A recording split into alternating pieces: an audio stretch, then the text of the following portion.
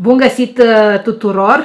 Astăzi uh, vreau să vorbesc despre luna nouă din Fecioară, care se produce, are loc pe data de 30 august 2019 la ora 13.36, ora României, ora locală a Bucureștiului.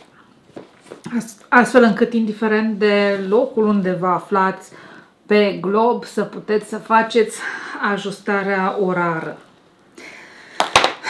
Luna august a fost o lună foarte intensă, am primit foarte multe mesaje de la privitori care îmi spuneau că simt o stare de tensiune, simt o stare de iritabilitate, uh, cei din jur sunt foarte agresivi și tot felul de plângeri orientate înspre uh, lipsa uh, alinierii dintre oameni și a lipsa comunicării.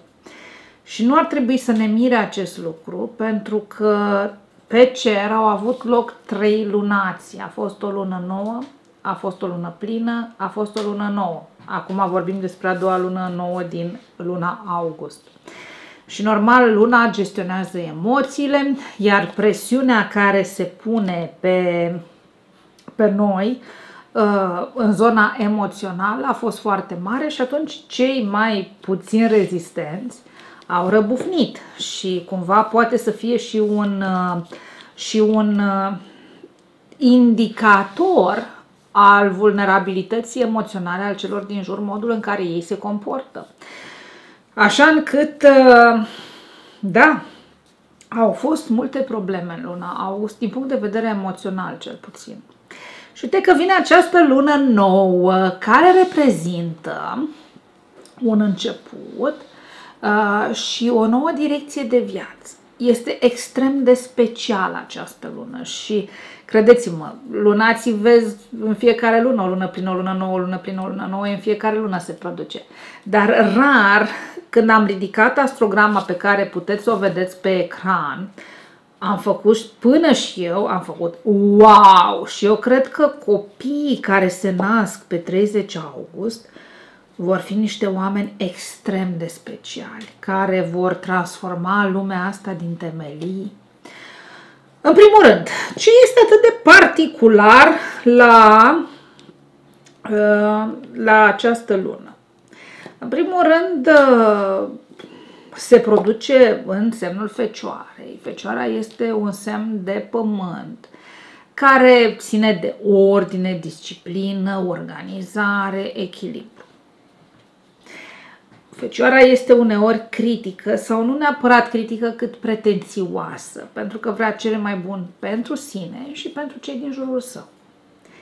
Apoi este un semn uh, mutabil, Semnele mutabile sunt compuse din gemeni, fecioară, săgetător și pești și indică transformarea, schimbarea, empatia, emoția. Semnele mutabile au o funcție uh, foarte importantă, cea a adaptabilității, a flexibilității și a emoției, a, a simpatiei pentru cei din jur. Uh, și uh, aceste semne mutabile întotdeauna mediază schimbarea, o, o facilitează, ne ajută să ne schimbăm. Prin urmare, avem o lună nouă pe semn mutabil, deci schimbare, schimbare, schimbare. Luna nouă oricum ține de schimbare.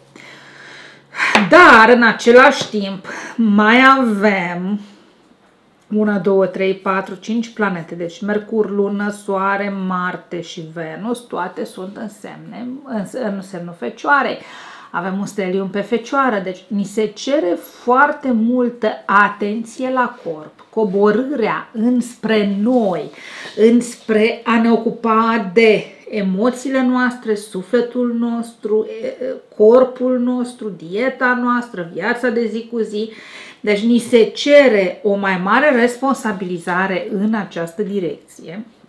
Și apoi ni se precizează foarte clar că vine un moment al schimbării, și schimbarea aceasta, vestea extraordinară, mă bucură foarte mult, este de durată și este stabilă pentru că se produce, au loc patru mari, patru trine uh, cu, între Saturn, Pluton și steliumul din Fecioară și 2, 4, 5 trine între Uranus din Taur, Uranus, schimbarea, transformarea, uh, revoluționarul, tot cu aceste planete din, din Fecioară. Deci e un context astral unic prin nivelul de pozitivitate pe care îl manifestă, prin gradul de noroc pe care ni-l aduce și prin capacitatea de a ne transforma foarte mult. Dar este fundamental pentru fiecare sens zodiacal să înțeleagă că acum este momentul să transforme ceva în sine, să nu se mai ocupe de ceilalți, pentru că e vorba despre coborârea în tine, contopirea cu sinele tău. Este vorba despre muncă, Fecioara este uh, zodia care uh, e pusă în serviciul celorlalți, deci vom avea de făcut uh, multe schimbări și transformări prin, cu noi, iar ascendentul acestui moment este pe scorpion, moarte, renaștere și transformare totală și profundă. Moarte, renaștere și transformare totală și profundă. Mai repetat o dată, pentru că acum este momentul când putem să facem adevăratele schimbări în noi și cu noi. Și vom vedea multe persoane care în acest moment aleg să țină o dietă, să-și schimbe coafiura, să, să-și cumpere haine noi sau să lucreze la garderobă. Deci vom simți intens nevoia unei primeniri. Întâi la nivel fizic, da, exterior, apoi la nivel interior.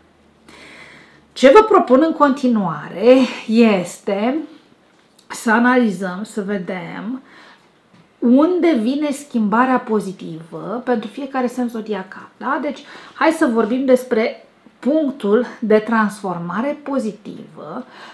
Rar fac filmări în care vorbesc și eu de bine, nu de la un cap la altul. Deci, în ce domeniu de viață are loc schimbarea aia reală pentru noi? În următoarele 12 luni, de la această lunație la următoarea lună nouă în Fecioară, da? deci de, de la acest august până la următorul august. Deci, berbecul va avea parte de schimbări pozitive pe zona iubirii, pe zona creativității și pe zona afacerilor. Foarte frumoase puncte în care vor fi schimbări. Taurul, care este extrem de avantajat, el, Taurul va trece prin multe duduieli și zgâlțieli, datorită, trans, din cauza, nu datorită, din cauza tranzitului lui Uranus, uh, planeta revoluționară, prin semnul Taurului și asta ține până în 2026, așa încât această gură de aer pozitiv este ce își dorește Taurul mai mult. Și taurul va avea schimbări, parte de schimbări pozitive pe zona iubirii, ă, fertilității și ă, studiu și relația cu străinătatea, deci iubire, fertilitate. Ă, aici poate să fie și fertilitate de idei, nu numai fertilitatea fizică, însă poate crezi, poate scrie o carte, poate compui ceva sau poate inventezi ceva. Da? Deci fertilitate, studiu și relația cu străinătatea. Gemenii, partea pozitivă a gemenilor vine din zona conștientizării spiritualității și s-ar putea vreme de un an de zile să lucrez foarte mult tema aceasta a studiului, a dezvoltării personale, apoi vești bune legate de banii partenerului, în cazul în care ai un partener, poate primește o moștenire, poate cunoaște o creștere în venituri și beneficiezi și tu de pe urma asta. Și uh, intuiție extraordinară. Gemenii primesc un cadou foarte uh, special care ține de intuiție. Multă lume își dorește acest dar. Racul. Racul ori primește o moștenire în aceste 12 luni, ori uh, lucrează zona intuiției, zona terapeutică și vești foarte bune pentru rac legate de sănătate. Deci dacă te confrunți cu vreo problemă de sănătate, în aceste 12 luni, Fecioara va fi extrem de prezentă în viața ta, ajutându-te și susținându-te să găsești tratamentul potrivit sau medicul care să te ajute să te vindeci. Leul. Leul uh, va avea șansa unei noi iubiri, va avea șansa unui loc de muncă nou sau șansa plecării în străinătate, relocare sau dacă nu-i plecare în străinătate, te muți sau te muți cu domiciliu din, dintr-un cartier într-altul, dar tot să faci o schimbare de genul ăsta. Fecioara, wow! Fecioara e despre ascensiune spirituală și niște lecții extrem de intense și profunde privind această ascensiune spirituală. Fecioara se schimbă, fecioara se transformă, fecioara vede lucrurile într-o altă manieră și într-o nouă dimensiune. Și uh, vei deveni un învățător al altor oameni, vei trece la un alt nivel de expertiză, vei fi promovat la serviciu sau poate îți schimbi serviciu și ai să te bucuri de recunoașterea socială pe care o cauți de multă vreme. Te ajută foarte mult această lună nouă. Ascensiune ă, socială, dar combinată cu un nivel intens de spiritualitate, cu un nivel ridicat de intuiție. Balanța. Balanța face afaceri. 12 luni de zile. Sau ai potențialul, pentru că știi cum e. În engleză este o, o, un proverb care spune cam așa. Poți să duci calul la apă, dar nu poți să-l faci să o bea. Deci aici ai liberul tău arbitru dacă accepti provocarea sau nu. Și, repet, uh, balanța Uh, are șansa să facă afaceri, are șansa să facă niște lucruri deosebite în zona parteneriatelor, asocierilor, colaborărilor, îți lărgești uh, un grupul de prieteni și ai parte de foarte multă susținere într-un proiect creativ, dar partea cu afacerilor ține în cap pentru că e de bine Scorpionul, scorpionul va trece printr-o transformare profundă. Poate n-ai să fii mulțumit de ce îți zic, dar ai să vezi că pe termen lung, ceea ce spun aici are o semnificație aparte. Scorpionul va primi ajutor din partea planetelor în ceea ce privește uh, modul în care vede viața și maniera în care gândește. Și trebuie să spui, da, tu ei vorbești de moșteniri și mie îmi vorbești de cum gândesc. Și am să spun da, și știi de ce? Gândul te ridică, gândul te coboară. Gândul îți dă boală sau gândul îți dă sănătate. Gândul te ajută să faci alegerile potrivite și inspirate. Gândul te pune în starea de acțiune sau non-acțiune. Și gândește-te ce dar astral primește acum vreme de 12 luni dacă, dacă vei reuși să, să ai gândul cel bun, ceea ce e foarte important. Dar știi cum e? Accesezi gândul, gândul cel bun dacă te duci în inimă, nu în creier. Deci dacă tu ai o idee și pe urmă sar toți pe tine și o contrazic și mai stai tu și te gândești, mă, dar dacă toată lumea zice așa, de ce aș face eu pe dandoasele? Atunci s-a dus gândul cel bun pe apa sâmbetei și ai să acționezi din frică. Deci Ideea este că primești gândul cel bun, dar asta nu înseamnă că trebuie să te lași influențat de cei din jurul tău, nu? Săgetătorul. Ia să vedem la săgetător ce se întâmplă legat de uh, această lună nouă în uh, Fecioară. Săgetătorul primește un dar al autosuficienței și al încrederii în sine. Un dar foarte prețios pentru săgetătorii mai timizi, mai oscilanți, mai, mai precauți. Deci, ai, ai să devii o bestie, glumesc desigur, eh, care nu va lua prizonier nicio secundă și o să vrei să te afirmi și o să te iei la trântă cu toată lumea și să ai câștig de cauză. Deci multă, multă susținere în direcția asta. Capricornul. O, ție să aduc o veste, mai ales pe tiparul tot de zodie de pământ, primește ajutor nesperat în a face bani, dar asta nu înseamnă că banii o să-ți vină la loto. Deci, uite, eu, eu în primul rând, sinceră să fiu, mie nu mi-e foarte clar și puteți să mă contraziceți, dar eu nu o să-mi schimb părerea. Cum pot să mă duc eu la loto, în orice țară, că și aici în Islanda se joacă, adică cum îmi bag toate numerele alea într-un computer și eu vreau să cred că computerul ăla știe, când, o să știe, când știe toate variantele de numere, o să fie așa universul care trage numărul câștigător. Hai mă lași!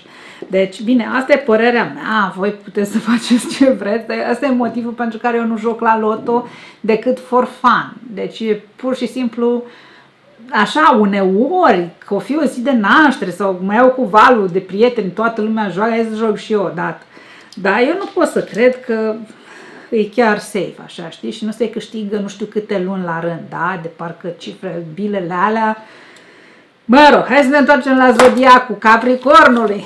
Deci nu te duci și juca la loto că n-ai să câștigi prin speculații bancare și financiare și prin nu știu ce criptomonedă. Uh, ce ai să câștigi dacă uh, îți folosești mintea, îți folosești intuiția, uh, Pluton și Saturn în Capricorn, trină cu Luna, Soarele, Marte și Venus din Fecioară.